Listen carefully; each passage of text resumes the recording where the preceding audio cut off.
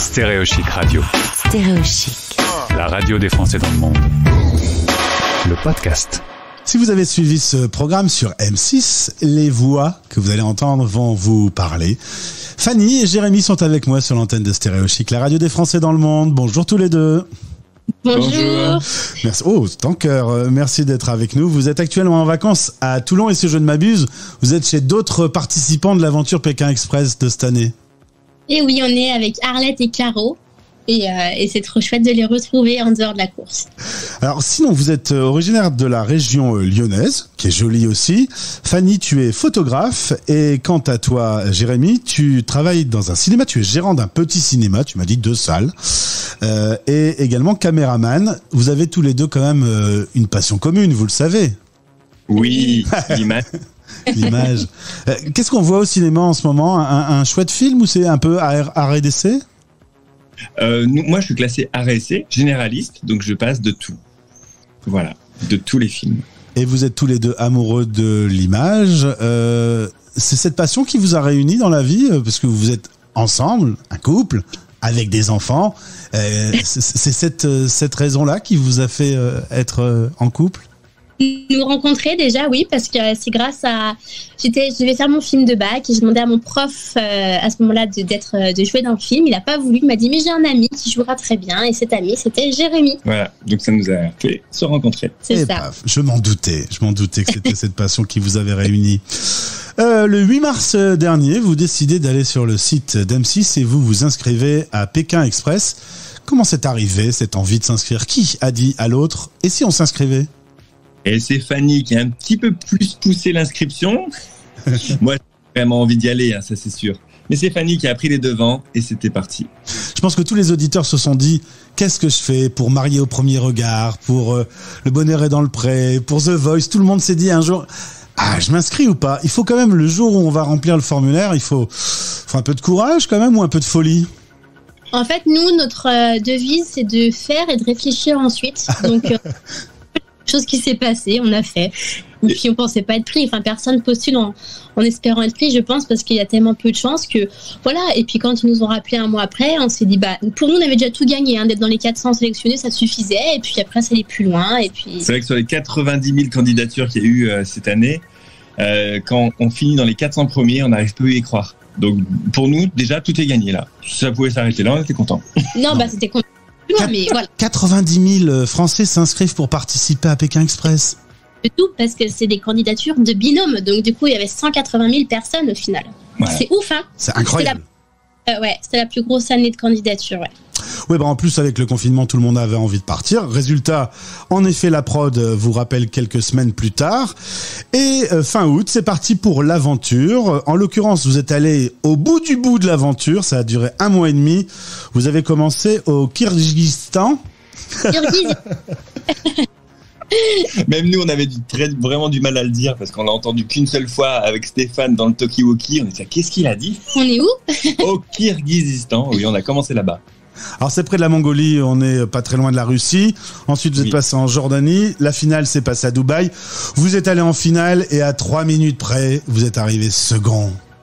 Pour nous, on est euh, gagnant moralement parce qu'on est allé au bout de nous-mêmes, on a tout la... on n'a rien lâché, on, on s'est battu comme des fous et à trois minutes d'écart, euh, oui, on peut dire qu'on est gagnant aussi. hein. Bah moi je vous nomme gagnant aussi, gagnant de cœur. Euh, Fanny, Jérémy, cette aventure, nous on la voit à la télé, on vous voit galérer, on vous voit vous engueuler, on vous voit vivre des trucs de dingue. En vrai, de l'intérieur, c'est tout aussi dingue. Alors on s'est pas beaucoup engueulé, hein. Euh, on est très très on est très complémentaires, donc c'est très rare qu'on se dispute.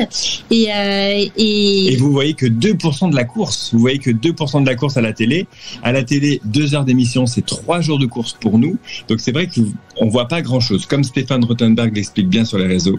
Donc c'est vrai que c'est complètement dingue, mais fois, fois, fois 200, quoi, en vrai. En vrai, c'est une claque émotionnelle, un ascenseur émotionnel incroyable. On a du mal à l'expliquer à nos familles, à rentrer dans les détails, à tout leur faire, à, tout raconter, en fait. Et même nous, on a un peu du mal à réaliser que tout ça est vrai. En fait, euh, depuis un an, c'était tellement un rêve absolu que ça peut, ça paraît faux. C'est pas possible, on l'a pas vécu. Faut qu'on se pince en fait quand on regarde l'émission, on se dit ah, putain mais si en fait euh, on l'a fait. Enfin, c'est bizarre, mais voilà. Et puis il y, a- il y a la notoriété qui arrive avec tout ça, parce que passer à la télé, ben euh, ça change le quotidien. Même quand on va chercher son pain, on vous reconnaît désormais. Ça, c'est facile à vivre ou c'est un peu galère, too much? Au début, c'est drôle, c'est plaisant. Non, c'est agréable parce qu'en fait, euh, on en rigole avec Jérémy parce qu'on se dit c'est dingue, mais depuis qu'on a fait Pékin Express, les gens sont vachement plus polis et gracieux. Parce qu'en fait, les gens nous disent bonjour pour, euh, voilà, ils nous reconnaissent, ils nous font un grand sourire ou nous disent bonjour. Et c'est des petits détails de la vie qu'on n'a pas forcément le droit quand on est quelqu'un classique, on va dire. Et, euh, et ça, c'est, moi, ça me rendait triste, ça m'amusait purée, un petit sourire, ça coûte pas grand chose, mais ça fait du bien. Et du coup, maintenant, on en a plein et c'est vachement agréable, on, on les prend. Continuez de nous faire des sourires, parce que Un jour, le boss de Globe Dreamers, qu'on a déjà entendu sur notre antenne, qui est partenaire avec nous sur Stéréo Chic, Martin, vous appelle et vous dit Est-ce que vous avez une cause que vous aimeriez défendre? Et là, on arrive sur le sujet du jour. Euh, vous vous êtes dit Banco, on y va à fond. Et oui. Ah oui, ça a été une super opportunité. C'est un Vraiment. projet de fou qui nous a proposé. Enfin, donc nous, c'est la cause animale qui on qu'on souhaite vraiment défendre des animaux surtout en voie de disparition. On va dire du coup toutes les espèces quasiment. Et, euh, et du coup, il nous a proposé un projet, c'est de- d'aller filmer euh, dans plusieurs pays différents avec un petit fil rouge des animaux en voie de disparition. Et ça s'appelle le Licon, Licaon Express. Alors, je suis pas très très euh, euh, calé sur ce sujet, sur cette race animale. Il s'avère que c'est un chien. J'invite tous les auditeurs à écrire L Y C A O N sur son Google. Vous avez choisi de défendre un drôle d'animal. Hein. Le licaon est un animal qui est peu connu, qui a des particularités de vie qui nous font, enfin, qui nous rappellent un peu ce qui nous touche, parce que ce sont des animaux qui sont hyper solidaires en fait. S'il y en a un dans la troupe qui est malade, qui est handicapé, et ben au lieu de l'abandonner ou de le laisser se débrouiller, ils vont tous euh, l'entraider, s'entraider. On se partage la nourriture, etc., etc. Et du coup, on trouve que voilà, il a une belle mentalité et c'est un animal que physiquement tout le monde n'aime pas, mais que nous on trouve très beau et très attachant. Donc euh, voilà, et il mérite d'être connu. Il faut entendre son cri. Il a un cri très très particulier que... Qui est chou. qui est vraiment chaud. Bon, alors c'est vrai que les extraits sur YouTube, il fait un peu peur, mais dans les pas, on a la chance d'en entendre. Ils sont très, à- très touchants. Bah, c'est un, une espèce de mélange entre un, un chien domestique avec Mickey, en fait, avec des grandes oreilles comme ça. Une hyène. Oui, ça ressemble beaucoup aux hyènes, trouve. Alors évidemment, l'homme a fait des bêtises, comme toujours. Cet animal est en voie de disparition. Et vous, l'idée, à travers le Lican Express, c'est de trouver une association, partir au Botswana pour défendre cette euh, race euh, qui est abîmée aujourd'hui par l'homme. Comment, en gros, vous voyez les choses dans les prochaines semaines? Eh ben, on va partir là-bas euh, et on va essayer de mettre notre talent au maximum dans la photo et la vidéo, faire un vrai, vrai documentaire dans l'émotion, parce que voilà, depuis plus de 20 ans, euh, on grandit dans le monde du cinéma. On aime, on aime l'émotion, on aime la belle image, et on veut essayer de véhiculer et Voilà. de toucher un maximum de personnes avec notre notre reportage, quoi. Ouais, c'est ça. C'est bien, rien à rajouter, Fanny. T'as as écouté Ouais. ton homme en disant oui, c'est ça. Il l'a bien dit, je le soutiens. Non mais voilà, le but c'est de, de montrer, de montrer déjà de faire découvrir cet animal, cette euh, voilà, et de après aider une association, filmer cette association qui met en œuvre des actions pour les, les aider à pas disparaître, et donc de récolter des fonds pour cette association et voilà. Alors justement, qu'est-ce qu'on peut faire concrètement pour vous aujourd'hui? Globe Dreamers, vous êtes maintenant dessus, vous avez une page qui explique clairement votre projet. Et aujourd'hui sur l'antenne de Stéréo Chic, quel appel peut-on lancer? Et bien du coup, l'appel dons, j'ai envie de dire, toutes les personnes qui, qui veulent nous aider à participer à ce projet, à mettre ce projet en route, euh, vous pouvez faire des dons, même des tout petits, on, prend, on prend tous les dons du monde. Il y a même des contreparties pour ceux qui veulent. Par exemple, vous pouvez nous demander en échange de, de faire un selfie quand on sera là-bas euh, avec un licaron. non, j'exagère, mais voilà. Faire une story en votre nom ou nous lancer des défis et voilà et ça je trouve que c'est assez rigolo donc euh, n'hésitez pas à aller voir et demander une contrepartie Ouais, elles sont sympas les contreparties. on trouve ça cool. Ou vous envoyez une carte postale, des petites choses comme ça simples, mais qui peuvent vous faire plaisir et qui nous, nous on fera avec grand plaisir aussi. Et vous recherchez aussi une association qui va, à qui vous pourrez reverser euh, les dons?